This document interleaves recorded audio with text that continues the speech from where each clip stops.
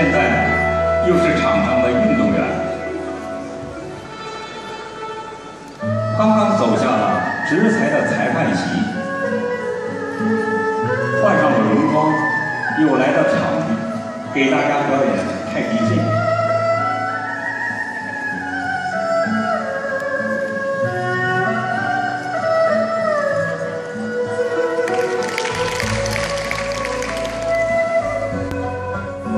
张康老师曾经在二零零四年第六届亚洲武术锦标赛获得了太极剑的冠军。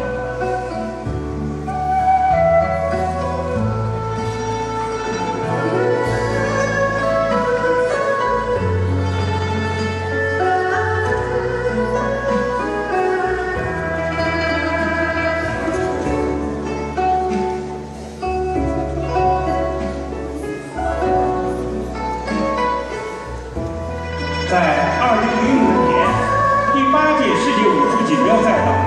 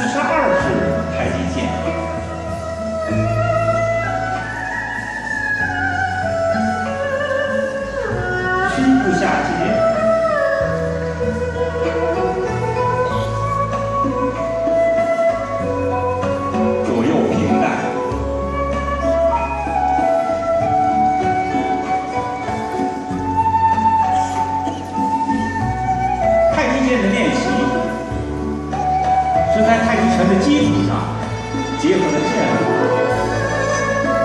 所以我们经常讲心中有剑，手中无剑，是剑指练习；手中有剑，心中无剑，只是一种棍术的表现。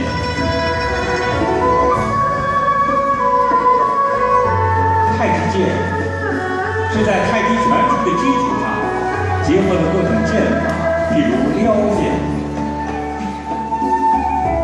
劈剑，有各种剑法构成。